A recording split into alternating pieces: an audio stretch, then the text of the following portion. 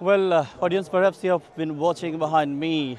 The people are gathering here in front of the Shahid Center, Shahid Minar premises. The mourners are still paying the rich tribute to the talented who we lost yesterday midday. You're watching people from the cultural arena, people from politics and the socialites are gathered still. It started earlier at 10.30 and it will continue till to 12.30 so far. Later on, they will be taken to the Dhaka University Central Mosque.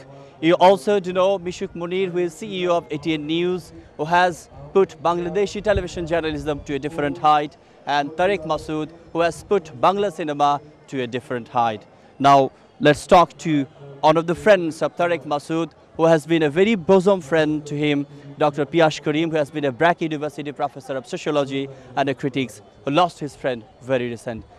Uh, Dr. Karim, Tareq Masud is your very good friend, bosom friend, we know. In very recent times, you were talking to me before uh, two to five minutes that the accident has been very frequent in recent times in Bangladesh and it has been very structural disorder. So how you look losing your friends and how you, uh, you define the situation right now?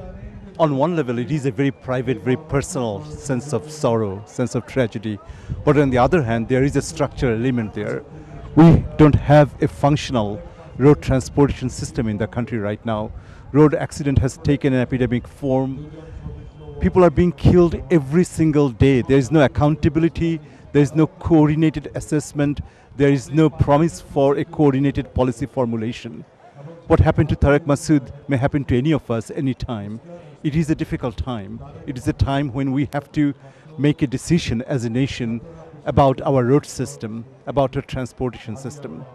The situation here, the atmosphere is here very somber, at the loss of the two great lives. So do you think uh, losing the two brilliant lives of Bangladesh, uh, is it uh, irreparable and hasn't created any vacuum in the Bangladeshi art and culture arena? Definitely, it is an irreparable loss. There is no doubt about it. It's a loss for the country, it's a lot for film, and it's a loss for many of us who were Tareq's personal friends. I didn't have a chance to interact with Mishuk to the same extent. I, uh, we knew each other, but we are not exactly part of the same friend circle. But Tareq was an extremely close friend, and it's a loss for many of us. Dr. Piyash Karim, Professor of Sociology at BRAC University, thanks indeed for joining. Uh, you're watching audience, the mourners are still in the mourning, and the situation is really very pathetic here in the uh, Shahid Minar, Central Shahid Minar premises. That's it from here, back to studio.